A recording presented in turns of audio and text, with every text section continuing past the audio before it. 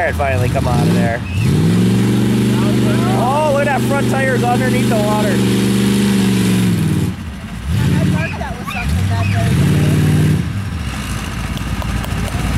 well, that's right where little Jeremy's